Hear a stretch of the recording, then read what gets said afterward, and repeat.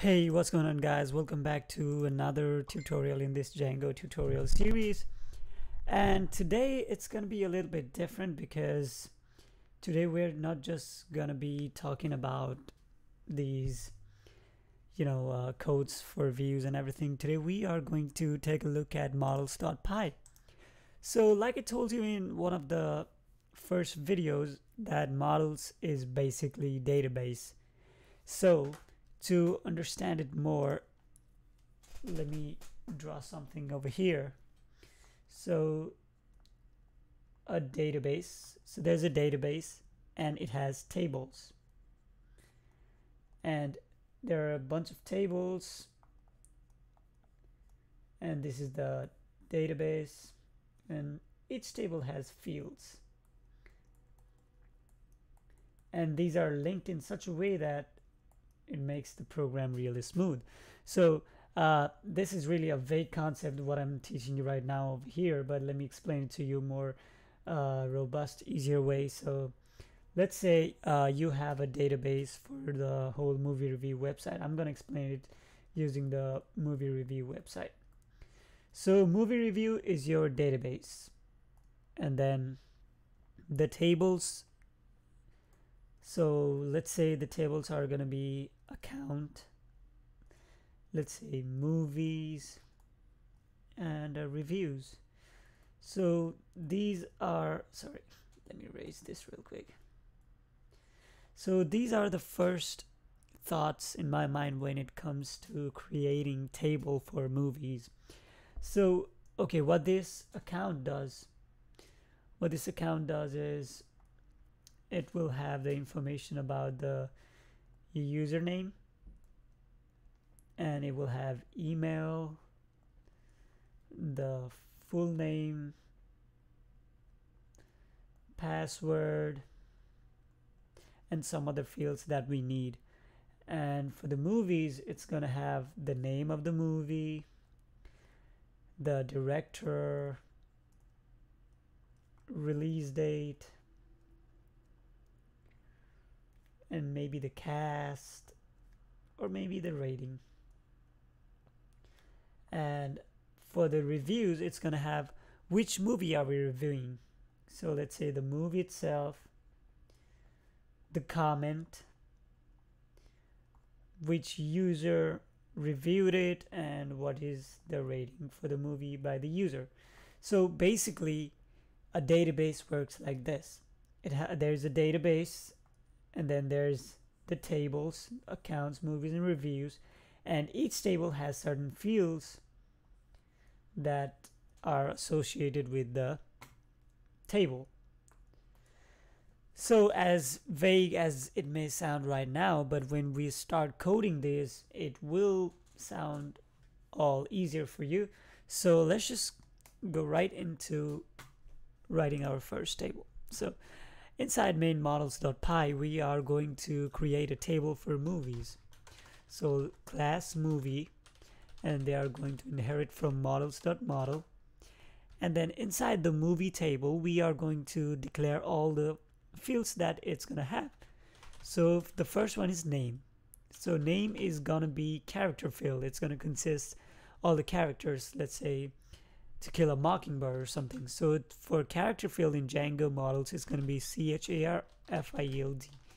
And the parameter that it needs to have is max length. It means what is the maximum length does the movie should have. So we are going to just set it for 300 for right now. But depending on what sort of fields you're using, you can just set it out based on the data that the user is going to input. So name of the movie will say director, director, sorry, models dot character field because this is also a character field and we'll just give it like 300 again. We'll say cast, we'll do models dot character field. Max length is gonna be, let's give it like 800 or something.